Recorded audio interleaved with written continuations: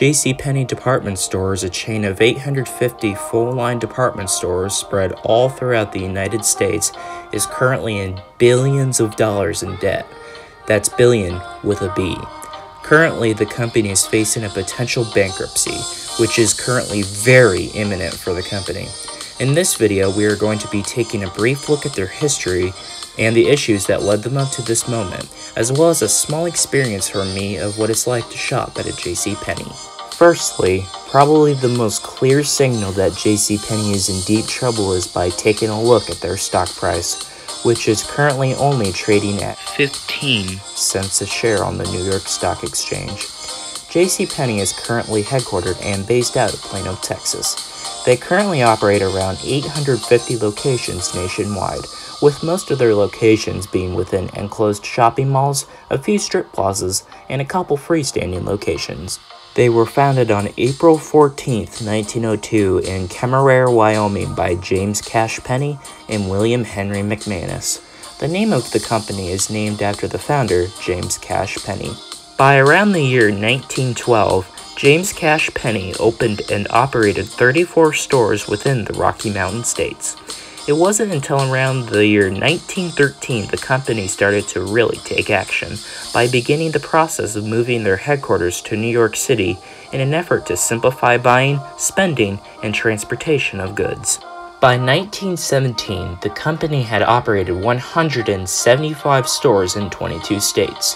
In 1924, the company opened its 500th store in Hamilton, Missouri, which was James Cash Penney's hometown.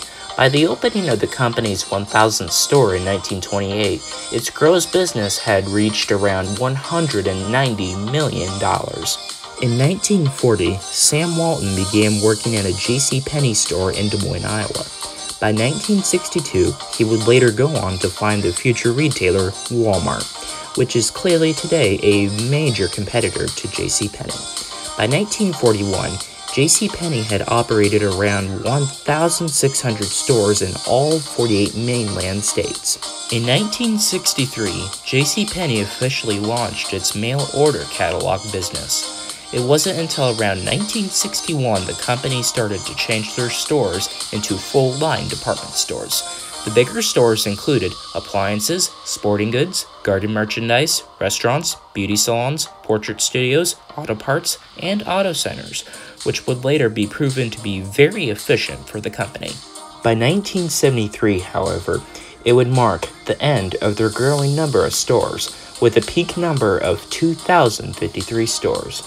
Between 1983 and 2009, JCPenney would make many changes, such as making several small acquisitions, selling one of its direct marketing insurance units for a whopping $1.3 billion, and launching its e-commerce site which would later to be proven to be very successful for the company, which had eventually reached a staggering $1 billion in revenue.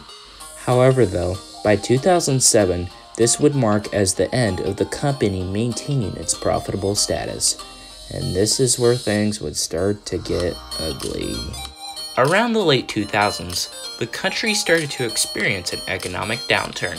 This affected several stores directed to middle class families, and JCPenney was a prime example of that. The company would lose several thousands of dollars in sales. The company between the years of 2011 and 2013 would see one of its biggest declines yet. Ron Johnson, who was affiliated with the Apple Company, became CEO of JCPenney.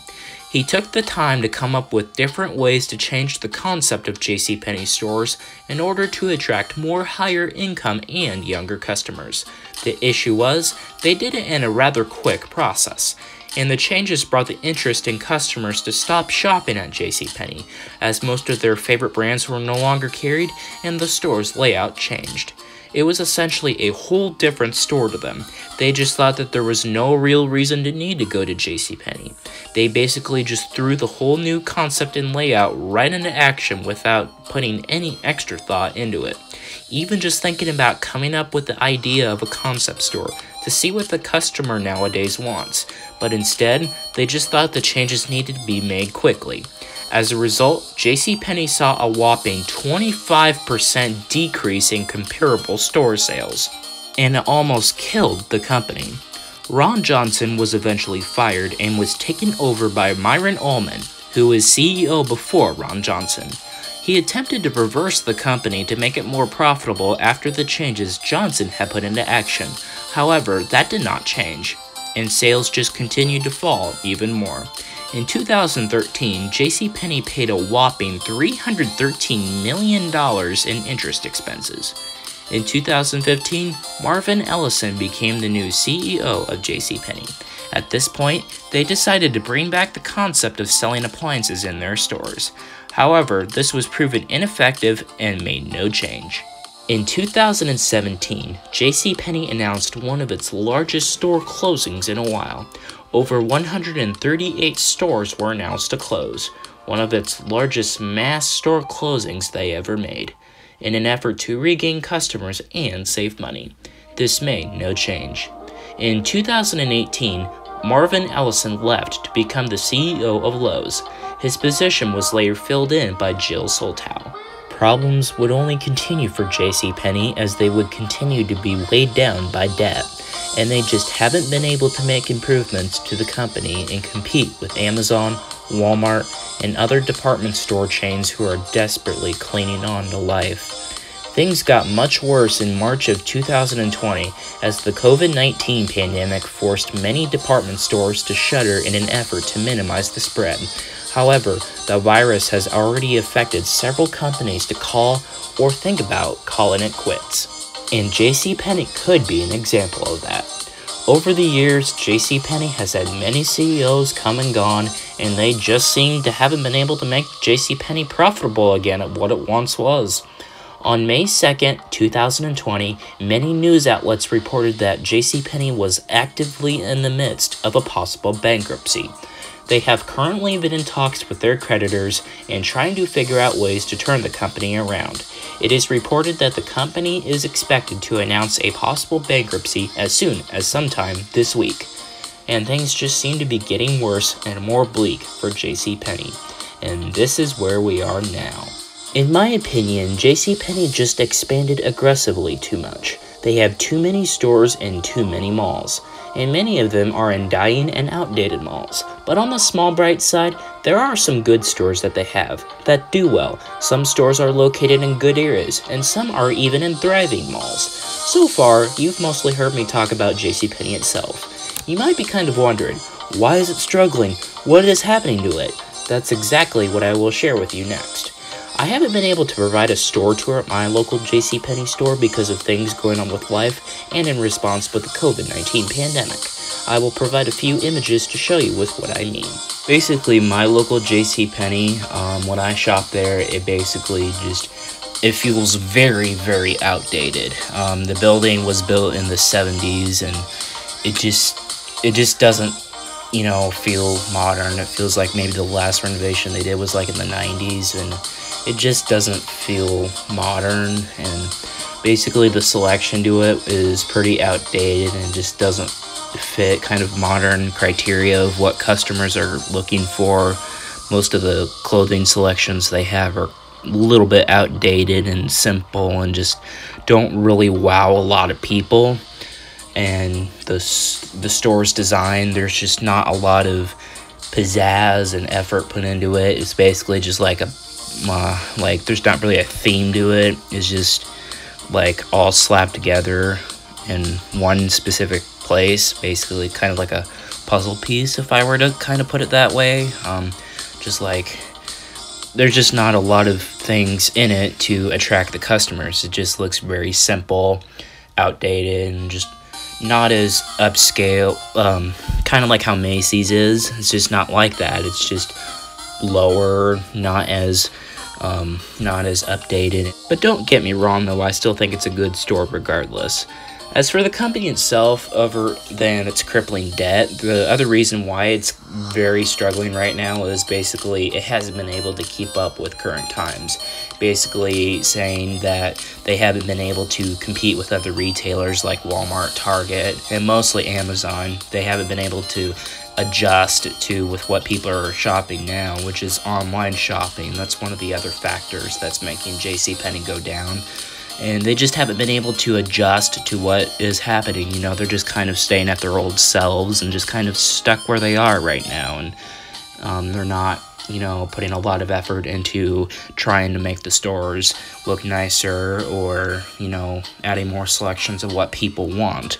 People nowadays want selections that they want of more variety of products they want at lower prices, like Walmart and Amazon, basically stores that basically have lower cheap products than compared to um, quality products, but probably not what they want at Penney's. So basically, people are shopping at other stores regardless of Penney's, and J.C. Penney hasn't been able to come up with the idea or ways to fit in with what people are shopping now and are just kind of stuck in the hole that they are in right now and they haven't been able to get out of it.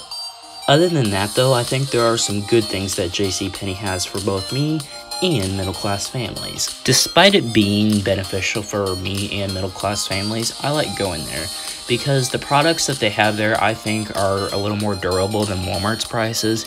Even though they might be a little more expensive, I think that they're kind of a little bit comparable. I could be wrong though, but I like going there because they have good selection of products that I think are decent enough and good, even though I think sometimes that their products that they have for both men's, women's, and kids' clothing is a little um, half modern, half, you know, late 90s, early 2000s, but most of the time they have what I like.